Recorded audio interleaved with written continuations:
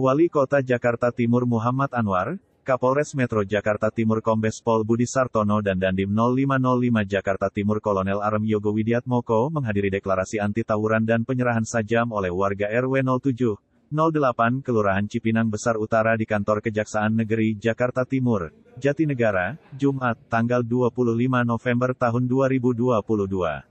Anwar mengatakan dengan digelarnya deklarasi tersebut dapat menciptakan lingkungan di Cipinang Besar Utara agar aman dan kondusif. Kapolres Metro Jakarta Timur, Kombes Pol Budi Sartono menyebut pihaknya, tak segan menindak tegas apabila kejadian tawuran terulang kembali. Sementara itu, Dandim 0505, Jakarta Timur Kolonel Arem Yogo Widiatmoko mengajak kaum pemuda RW 07, 08 untuk menciptakan lingkungan yang aman. Selain itu, Kajari Ardito Muwardi berharap para warga dapat menghormati tokoh masyarakat yang telah membimbing, memberikan arahan untuk tidak melakukan tawuran. Dirinya juga menegaskan agar kaum pemuda jangan musaj terpengaruh oleh provokasi yang tidak benar. Dalam deklarasi tersebut, dilakukan penyerahan berupa senjata tajam sebagai tanda bukti. Para pelaku tawuran tersebut membacakan ikrar dan membuat surat pernyataan bersama. Sebagai informasi, tawuran dua kelompok warga terjadi di Jalan Mayong, Jatinegara, Jakarta Timur, Selasa tanggal 22 November tahun 2022, malam. Suasana masih memanas hingga Rabu tanggal 23 November tahun 2022, dini hari tadi. Salah seorang warga mengungkapkan tawuran sering kali terjadi di wilayah tersebut. Tawuran terjadi berawal dari masalah sepele seperti saling ejek. Tak ada korban jiwa dalam aksi tawuran itu. Eh, tanganin isinya ya.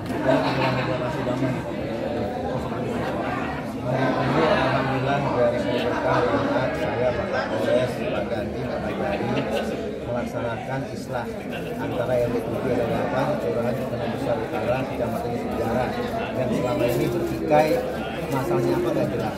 Artinya pada hari ini mereka deklarasi, mereka menyerahkan senjata tajamnya, mereka siap akan bekerjasama dengan baik, akan hidup rukun bersama-sama dengan dua RW ini. Tentunya kita sebagai Forkominfo, saya, Pak Kapolres, Pak Dandim, Pak Kajari sangat mendukung sekali dan saya ucapkan terima kasih Pak Kajari sudah memberikan tempat di kantor kejaksaan ini untuk istilah ini. Tentunya istilah ini diharapkan bukan hanya simbolis tapi betul-betul dari hati semua warga yang ingin hidup rukun damai dengan tenang dan aman kita tahu uh, sangat tahu sekali sebentar lagi kita akan masuk tahun politik.